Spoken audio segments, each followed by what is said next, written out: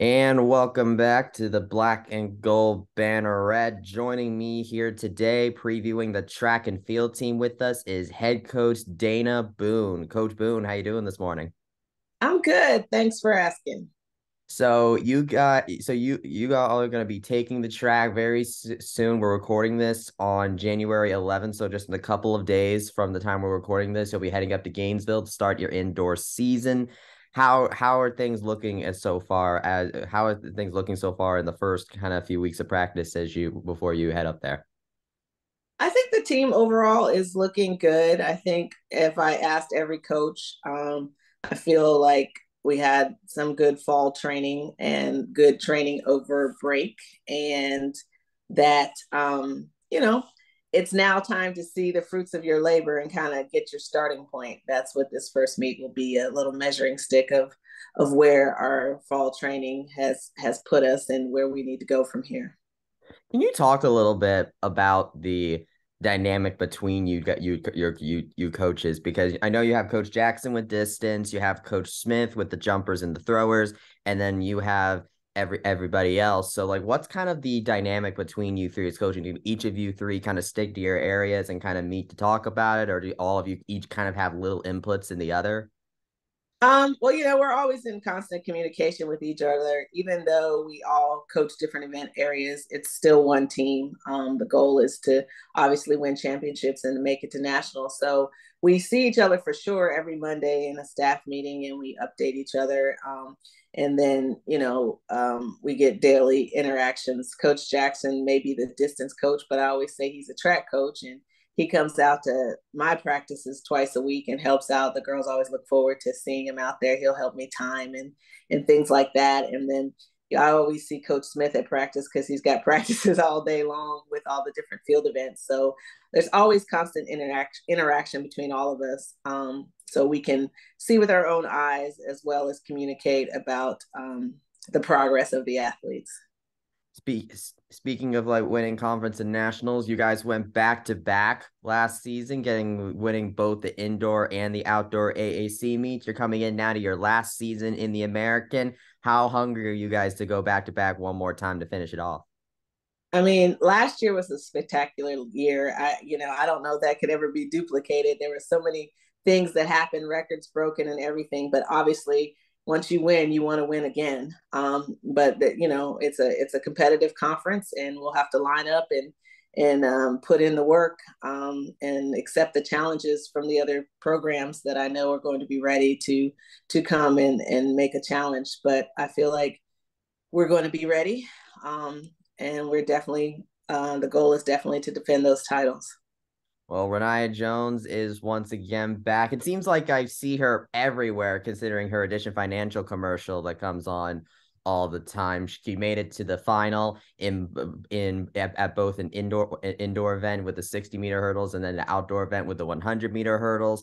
So I want to ask because she's made it to the final now, at least in the outdoor championship. She made it to the final twice. What do you think she needs in order to maybe get that little extra bit and potentially take home a win?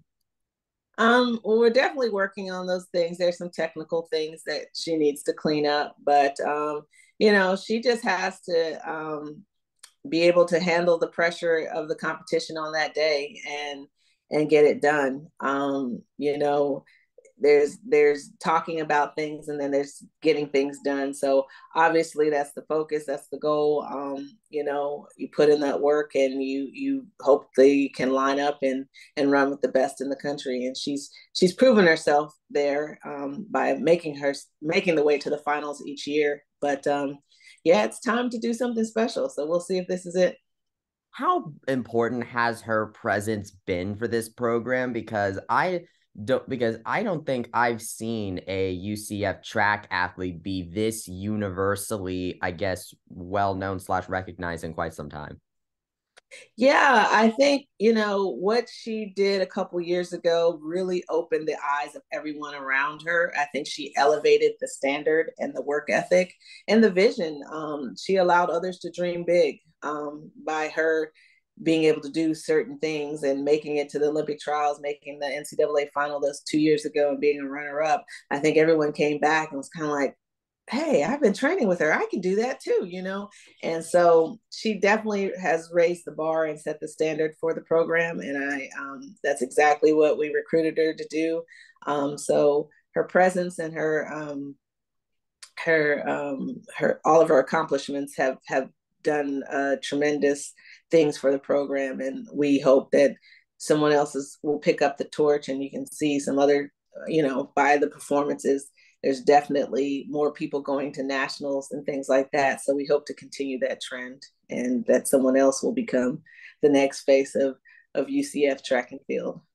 Well, one runner last season that I honestly felt like could have got could have gotten there, she or if not already gotten there, is Latasha Smith. She made it to the indoor nationals in the 60 meters, and I mean, I thought that she she easily could have made it to the outdoor championships but i think i remember we talked last time and there was a and there was something that came up before the preliminary and that uh, hindered the her and the 4 by 400 team from going to the to the preliminaries didn't see them so what can you talk a little bit about you know how hungry they are to come back this season uh, uh, this season for both latasha and the 4 by 4 team um, well, definitely, um, yeah, Latasha made it in the 400 in, indoors. And, um, you know, yes, we were expecting great things outdoors, but sometimes random things happen. And I had three legs of my relay come up with three different illnesses all at the same time. So they were unable to run individually. We had three people that qualified in the four in the 400 for that um, preliminary round meet and then the 4x4 as well and we just weren't able to line up any of them and run so the the likelihood of that happening was so random and crazy but it did happen um, but you know deep down that um, you know the team is definitely capable of of those type things so i know that um, watching training this year um, there's definitely Tasha is definitely putting in the work. Kaya Williams putting in the work. There's um, definitely the opportunity for um, improvement for sure. Um, so uh, the goal is to make it to nationals, and so we'll we'll see how the season progresses and pans out for these young ladies. Well, Latasha Smith really took the 400 meter by storm. She broke the indoor and the outdoor record for that. So I'm excited to see what she'll do this season. As far as the relay relay teams go, on each one, the four by one, the four by four, I believe you have each have one, each of them have one le- runner and one leg that is not with the program. For the four by one, Sierra Holback graduated, and for the four by four, I noticed that Danielle Bess is not on the roster, who was part of the part of the team that broke the four by four record last year outdoor. So who are some who are a couple of runners that you think we can take up that uh that open open leg on both? Well, that's that's that's what my job is as coach. We're we're still figuring that out. We um we lost a, another leg to injury, so we're we're trying to uh, regroup and recover. So that's what part of this early me early season meets are about. Um, is is finding those to step up. They'll have to be a short sprinter that will have to step up, and um, and Kylan Kirkland's going to have to step up. Um, so we're just gonna we're gonna find our way through there um, and see. So if you're asking me right now, I I can't answer that question. A lot of it depends on watching those compete and um, just seeing what we need to do moving forward. How so? Do you think we could probably? What kind of records do you think we could see fall the, this one? Just considering who you know who you've seen really kind of gaining momentum coming into the season. What kind of records do you think are in danger this time? You think the four by four again, or uh, are there others? I don't know if the four by four is in danger this year. I'm, not quite sure. We'll have to wait and see. Um, but to be honest, if you had asked me last year about what kind of records, I would have said I have no idea because as a coach, I don't focus on records being broken. I just focus on getting better, and um, and so that's what we're doing. The records come you know, through the training and through the competition. But, you know, I don't think any of us have just set out and said, I'm going to go break this record um, or that record. It's been the fruits of our labor. And that's what the ultimate, um, you know, the, the culmination of all their work it resulted in. Um, so for us, the focus is executing the race plan, continuing to get better, and those um, accolades and accomplishments come along with that. So how much because I'm looking at, at the because Rayniah Jones we talked about Rayniah Jones earlier and she's made it now made it to the outdoor championships in back to back seasons. But one, but when you look a little closer, Ashira Collins also did that in mm-hmm. in the triple jump. So yeah. at, and she's improved. She improved on her on her on her finish from two years ago and last season's out, outdoor outdoors. So I want to ask, like, what have you seen of her this off season, and do you th- and what kind of things do you think we can see for her in order to make that hump and potentially make a top ten? Well, Ashira has um, talent that we have not yet seen. Um, you know, I walked by practice yesterday, and was watching her jump, and I saw some some very good things. So I'm looking forward to hopefully her having her breakout year because she's been kind of teetering on there. But I really feel like she can make that transition this year to becoming an elite jumper um, because she has all the tools necessary to do that. So, looking forward to a great season from her um, and just putting everything together. We also have Adrian Adrian Adams, who ended up breaking the school record in the in the discus throw and made it to the outdoor championship as well. So I want to ask, like, now that she's done those things, uh, what what else do you think we can see from her now? Now that she's kind of had that outdoor championship experience. Well, I mean, the goal is hopefully she she can find a way um, to to win the conference in the discus and and return to the national meet and hopefully you know find her way um, into the finals. I mean, you're always looking for growth, um, but you know, a lot of you know, as a coach, we all believe um, that success is determined by the student athletes. We're here to be guides and and we give them the tools necessary to be successful. But ultimately, it's their mindset and them on that day that um, leads to the success. So hopefully, the seed has been planted. She had a taste of the national championship and wants more for herself, um, and that would be the goal.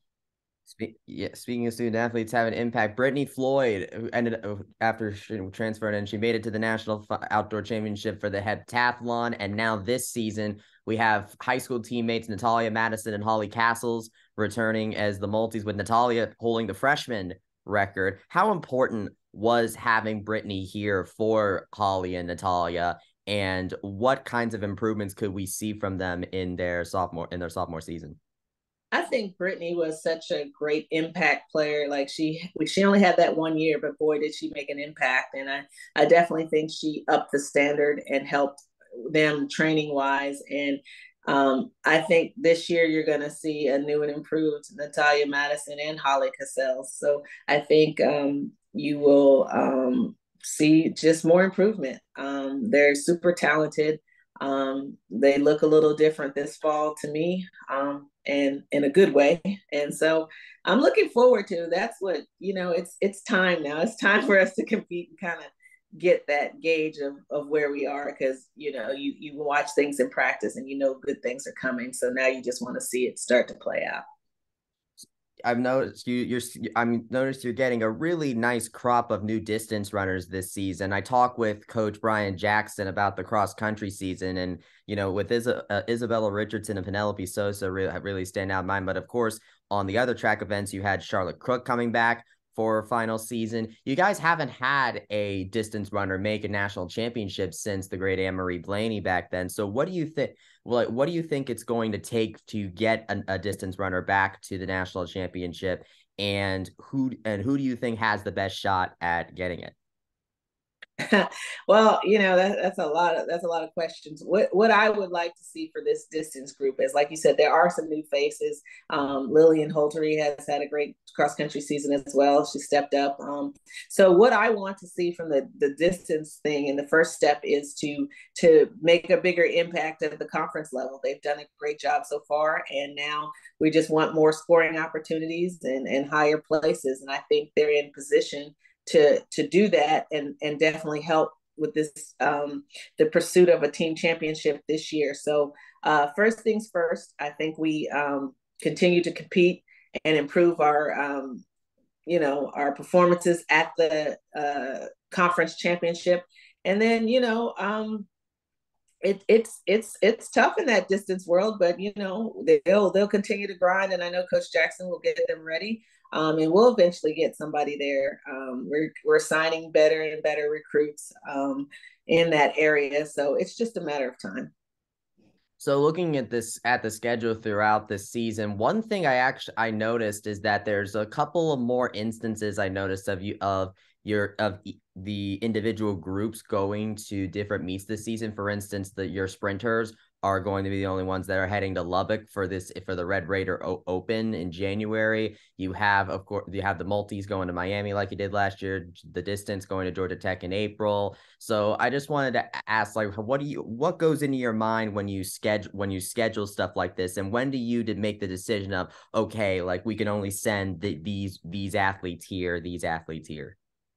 Well, it's not about only sending these athletes here, these athletes there. It's more about what's most important for each event group to get the most out of uh, out of the situation. So sometimes when we would go to the Clemson meet indoors, it would be great for everyone, but maybe the distance runners because maybe some of those programs didn't bring their best distance kids. So um, by the distance kids going to Vanderbilt, um, you know they they'll they'll run into a lot better um, competition for for their event area.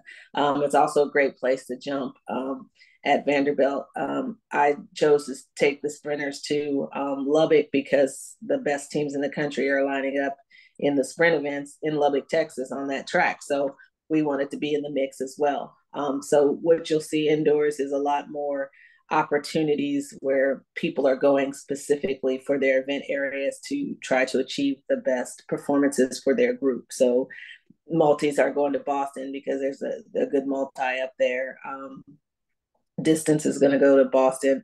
We're going to go to Clemson um, as well t- for the um, for the meet on February 10th and uh, 11th because that's a high level competition for sprints and that'll be the perfect time of the year when you really want to line up and should be ready to go. So, um, and then we have the other meets um, as training opportunities to get um, reps in or take the week off if we need um, need to. We have that opportunity to do so. So the schedule is set up and thought and with thought that everyone has an opportunity to run um, with the competition level that they want to when they need to, and also take breaks when they need to as well. So speaking of of Lubbock, they're going to be your conference mates very soon in Texas Tech going into the Big 12.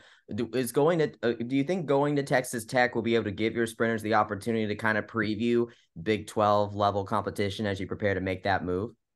100%. You know, that's uh, having worked there for uh, three years. Um, you know, I, I know what the track is like, but um, it's a different. Uh, that's a big steep bank over there. It's even steeper than the one that they they run into in uh, in Clemson. So it gives them an opportunity to um, experience the track. Yes, before we join the Big Twelve, because the conference meet will either be at uh, Iowa State or or um, Texas Tech usually in the Big 12. So definitely wanted them to have the opportunity to experience that and prepare themselves for what what's to come as we prepare to move into the Big 12.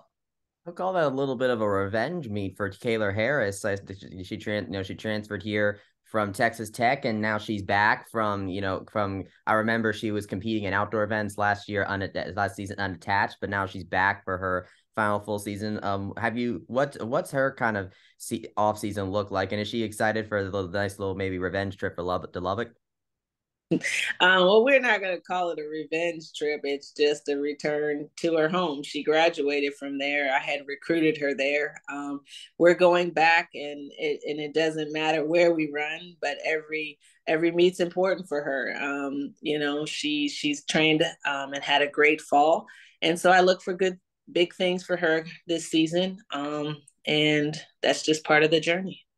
I probably should have u- u- used air quotes right there. Um, one one thing I re- I noticed about track that's a little bit different from other sports is I noticed that the impact of a conference schedule seems to only really come into play at the conference championship level. So I want to ask ask like how much do you think scheduling for you is going to change when you go to the Big 12 or do you think that it's not really going to change that much and we'll still see kind of similar events like this like with you go to I know you you go to Gainesville several times and is that eh, so how how much scheduling w- could you know change with the move to the Big Twelve?